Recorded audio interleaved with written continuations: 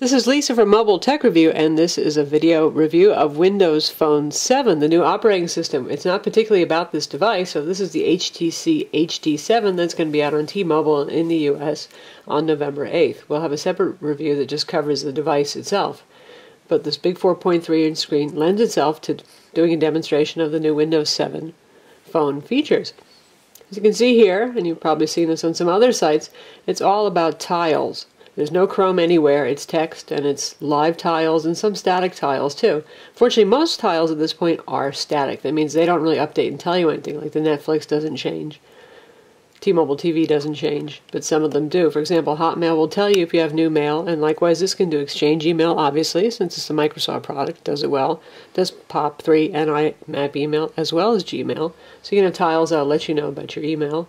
Just a number of messages though, no preview, no other information.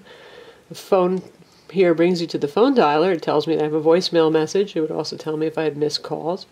Hit the button once to wake it up. It tells you what your next appointment is, the time, and the fact that you have a missed call or voicemail right there on the screen.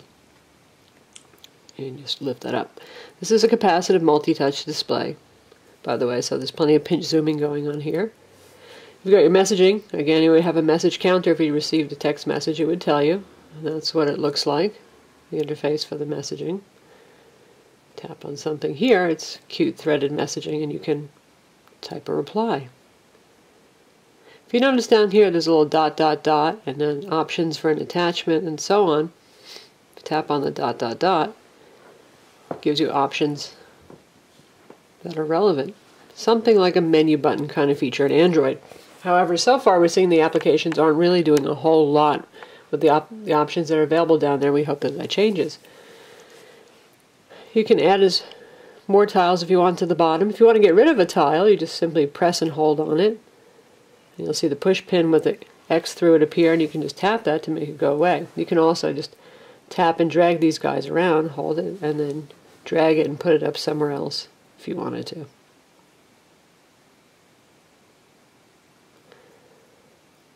So here's your full application listing over here. I've downloaded a lot from the marketplace. Um, there are already quite a few applications, and when we first looked at Windows Phone 7 after they announced it a couple of weeks ago, it was like nothing there. And now all the top titles are making their appearance. We've got Flixster, we've got Weather. If you want to add any of these to the to the front page, you can just tap and hold on it, like so, and then you see Pin to Start menu, Uninstall, or you can rate and review the application. So that's the application listing, and we're going to take a look at the, the app marketplace for Windows Phone soon.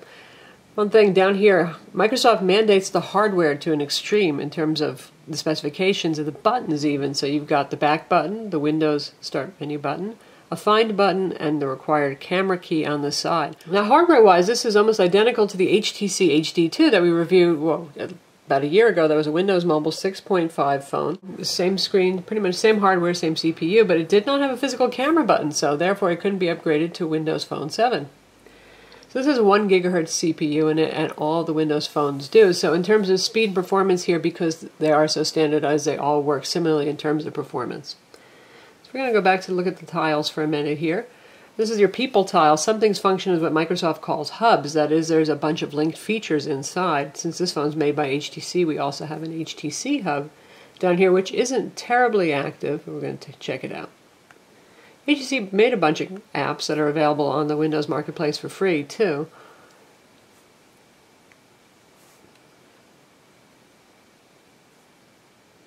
And for those of you who missed a big flip clock, there it is. Now, strangely, any applications that you installed that HTC did make don't show up here. This really is a link mostly to Marketplace apps to get more stuff. And it, it's kind of here for those of you who really just, gee, I wish I had that big old flip clock from the HD2 kind of thing. So that's what you see here. And again, this is, this is an awful lot like what you see from the regular market. The People Hub is quite cool other than the funny little animations you get on the home screen tile. Here we're in the Facebook section of people, and it's really a beautiful rendering. It was visually very nice, and you can tap on things to click through and go to a web page if somebody provides a link. And this is written by Microsoft. They wanted to have Twitter support as well, but they didn't have time. And here is everybody in my address book. You can sync this with Google, you can sync this with Exchange, and you can sync this with Outlook on the desktop, as well as obviously your Windows Live account stuff. So everything is side back and forth scrolling here in a panoramic kind of rolling view. And you've got recent stuff here, and then back to contacts again. So in terms of your contacts, let's take a look at what you can do. Here's one that I actually just made up. I've got a phone number in here, so we can call mobile, send a text page to mobile, and you can tap here to map the work address using Bing. Now, Bing might not be our favorite web search, but their POIs and their mapping is top notch, so there we have it. And right now we are using Wi-Fi. This is 3G on T-Mobile's network. We happen to be using Wi-Fi. That's a very nice level of detail there. That certainly rivals Google Maps. I think it's probably a little bit sharper and better. Does not rotate to landscape mode. Aha, what happens if you have a reminder? This is what you see on screen. Does a little vibrate, makes a little sound, and you can snooze or dismiss.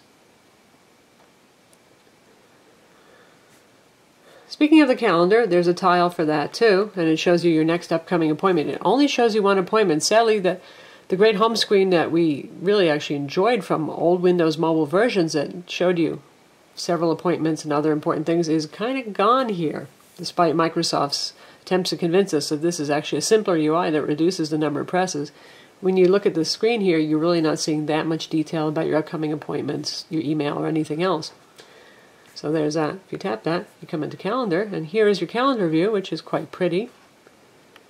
And you can tap that to see a month view with tiny Greek text for every entry you have. You can have multiple calendars here in different colors. You can have a Windows Live calendar, you can have a Gmail calendar, Exchange calendar, all on the same device. That we do like.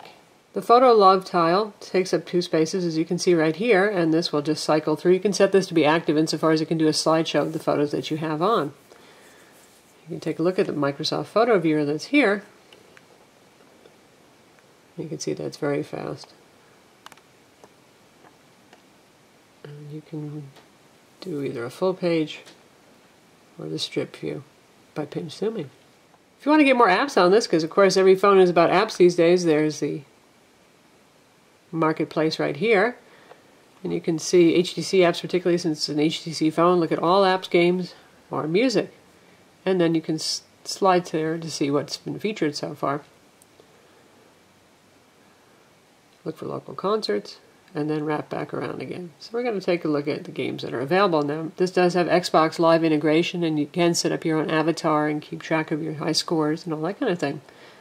So we've got Bejeweled Live, Carnivale, De Blob, Earthworm Jim, Flight Control, Frogger, Glow Artisan, Hexic Rush, Monopoly, Rocket Riot, Harvest, The Sims 3, Uno, Twin Blades, and of course more will be appearing every day we look. There are more. Game prices range from $2.99 to $6.99, with most of them being closer to $2.99 to $4.99. There are a variety of titles here. These are not just Microsoft games. And we're going to demo the games soon. And you can also do a selector here when you're looking at applications or games or anything. You can go by top, what's new, and our favorite, what's free? So there you have the free game selection. Sudoku, chess. How about gaming itself? I mean, that's one of the big draws of this phone is the Xbox Live integration and the potential for games given the high-end hardware and Microsoft's promise with Xbox services. We're going to take a look at some of the demo games that we downloaded now. This is the game The Harvest. This is a Microsoft game. It's available on Xbox 360 also.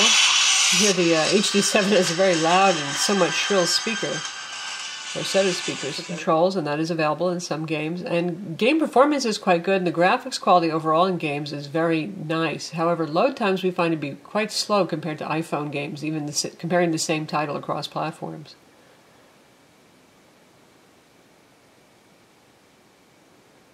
And we're still working on loading the Harvest.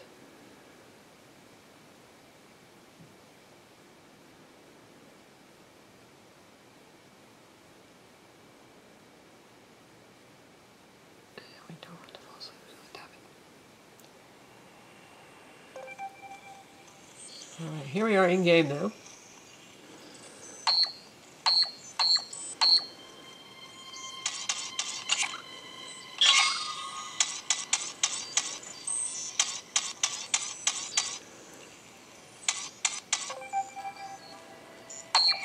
The HD7 doesn't have the most saturated display. It's usually 4.3 inches, but Samsung Focus looks more vibrant, obviously, with its Super AMOLED display when you're playing games.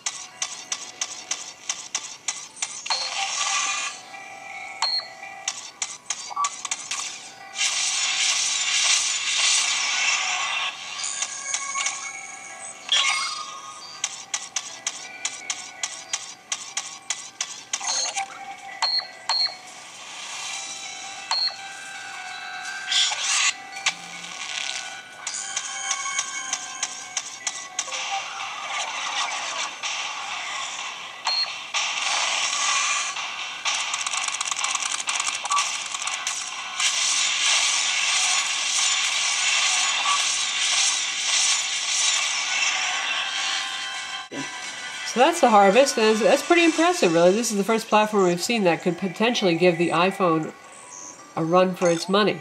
So of the many apps that are actually available now for Windows Phone 7, Netflix is probably going to be one of the more popular ones if you have a Netflix subscription. So I'll take a look at that. And again, we're doing this over Wi-Fi. You can do this over 3G, and the performance and quality are still pretty decent, but you'll get something better over Wi-Fi. So here you can net access Netflix's library of streaming videos if you have an account with them.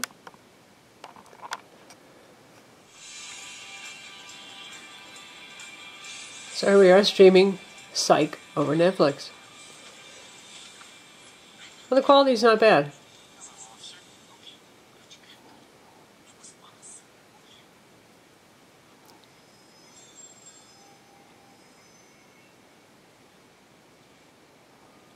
Another nice feature of Windows Phone 7 is voice command. If you press and hold on the start button, you can tell the phone to do quite a few things. Find Starbucks in Boston. Searching for Starbucks in Boston. Excellent. And of course, you have your choice of local items to Boston right here with listings. And you can See news about Starbucks.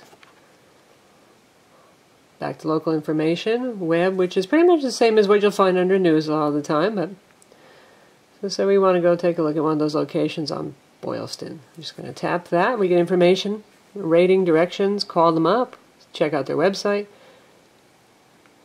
Tap on there just to see a map. And there it is. And we could again get directions if we wanted. Zoom in, get a better view. There it is. So while we're in here, let's take a look at the keyboard. This is one of the best keyboards ever used on a mobile device. I have to say, it's it's got very good little subtle sound effects here. You can hear that. It's it's not annoying, but yet like yet you know that you've punched in some keys there, and it, it's not just because this is a large screen device. Because even using the somewhat smaller Samsung Focus, I felt the same thing. That's just a very good keyboard. And you'll mostly be using this in portrait mode because there is limited support for landscape mode right now in the operating system. Hopefully that will come. You've seen individual applications, of course, too, like the web browser and uh, the photo viewer and some of the third-party applications, but so far Microsoft hasn't done pervasive landscape mode. For example, if you turn it like that, no. These tiles are meant to be used up and down and then swiping in the panoramic view.